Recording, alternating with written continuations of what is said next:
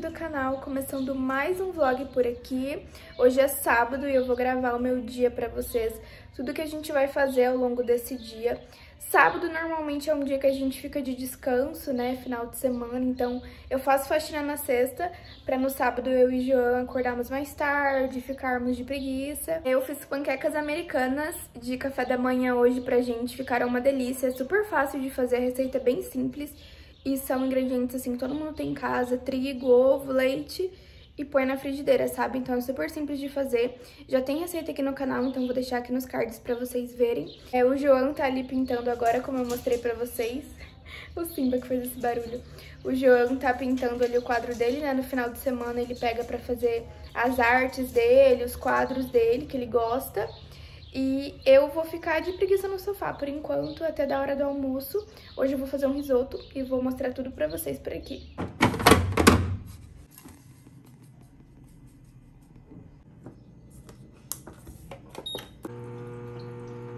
Deu a fome, então vou começar o nosso almoço, vou fazer o nosso risoto. Vou fazer risoto de alho poró hoje e vou mostrar pra vocês aqui. É super simples de fazer e fica uma delícia. Então acompanhem aí a receita. Aqui temos o alho poró. Eu vou picar ele, vou usar um pouco dessas folhas para fazer o caldo de legume também, que eu vi no vídeo que a moça usa.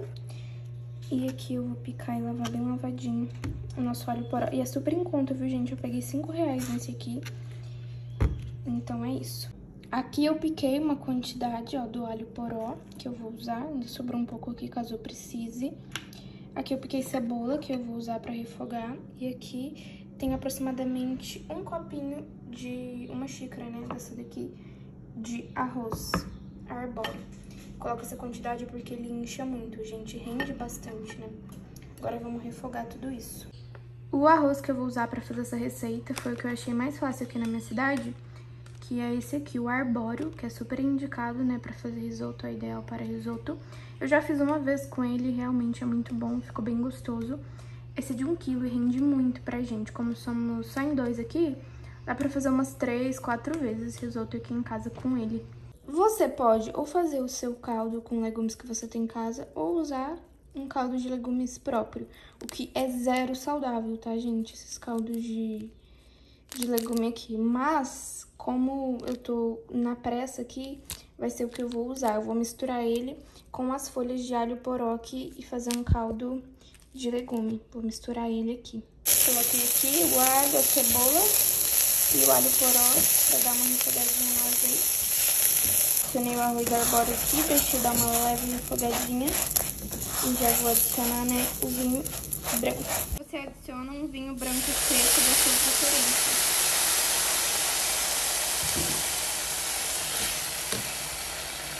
Vai mexendo até secando e evaporando o.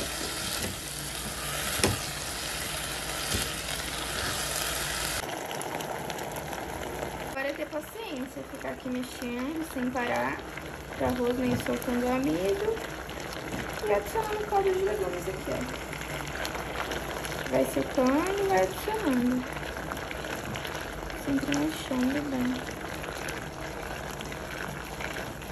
Estou aqui no processo mais demorado, que é ficar mexendo pro arroz ir soltando o amido e adicionando, né, o caldo de legumes aos poucos. Eu fiz o, o caldo de legumes também com com a folha, sabe, do alho poró. Que a moça no vídeo faz e ela falou que dá mais sabor e tudo mais. Aí eu fiz junto com a, a folha, né? Aí vou adicionando, né, o caldo aos poucos e mexendo. Eu já coloquei o vinho branco, esperei secar e agora eu vou adicionando o caldo.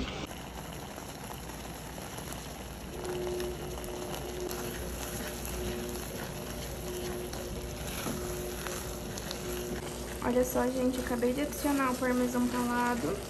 E agora eu vou finalizar com uma colher de margarina, né, de manteiga gelada. Gente, ficou pronto o nosso risoto, olha isso, a cremosidade. E aqui eu fiz alho poró empanadinho, no, empanei no trigo e fritei. Eu fiz uns filezinhos de frango por último pra acompanhar, Mas fica da escolha de vocês, né? Fazer frango, fazer uma carne. Mas só o risoto também fica uma delícia. O sabor é maravilhoso. O prato do João. O meu.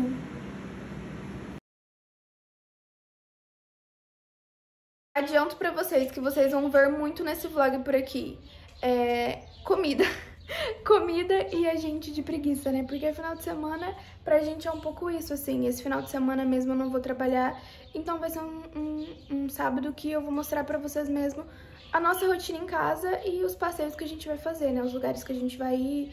Vou no shopping também à tarde, né? Estamos querendo ir ao shopping.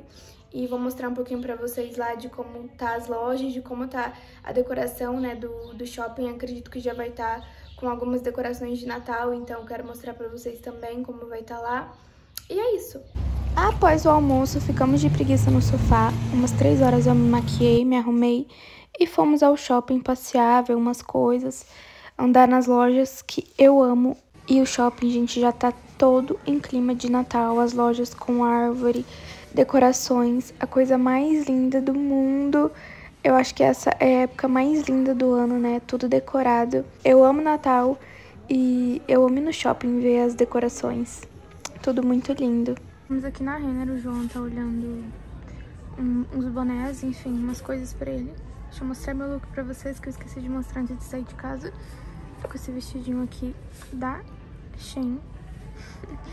Rosinha, ele tem esse decote. Esse é o motivo de eu não usar tanto ele, que eu fico com medo de aparecer alguma coisa, sabe? Mas, ó. Um decotão. Tá, vida. Então, foi provar a camisa. É, a bolsa também da Shein e a papete da minha loja. Olha que lindo esse vestido.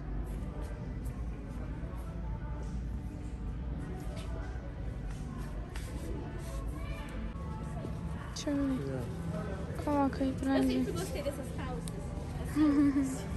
que tem bolso. Nossa, eu amo esse tipo de calça. Tem bolso. Lindo. Aquele ali tá bem bonito também.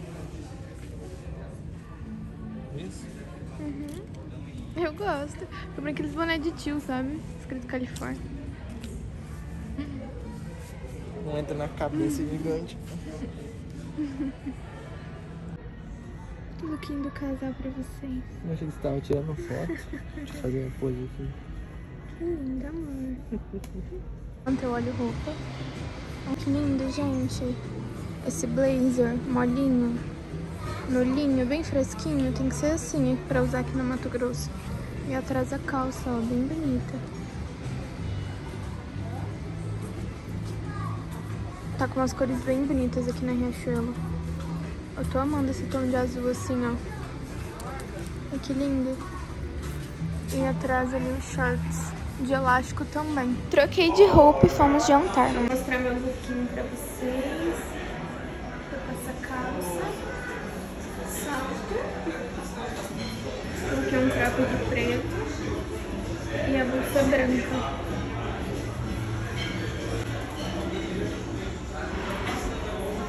Ai, amor.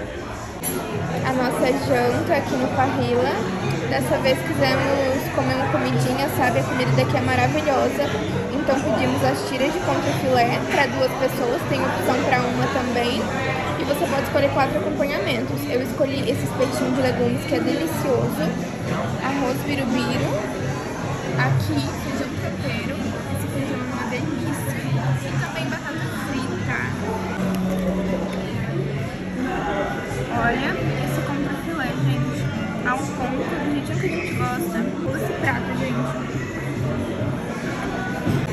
pedi esse drink sem álcool pra provar e é simplesmente maravilhoso. Ele é com purê de morango, uma bola de leite ninho, Nutella aqui embaixo, Gente, surreal de gostoso esse drink. Ele parece um milkshake, sabe? É bem grossinho. Uma delícia. Para os amantes de doce, assim como eu, vão amar.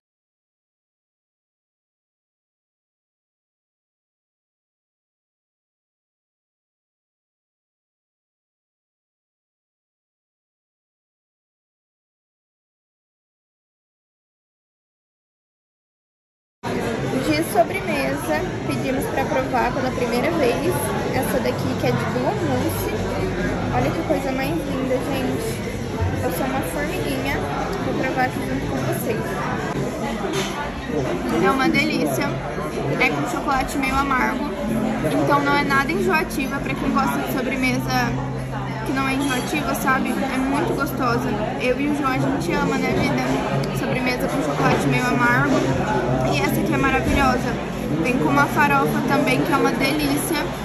Adocicada. E muito, muito cremosa, olha isso.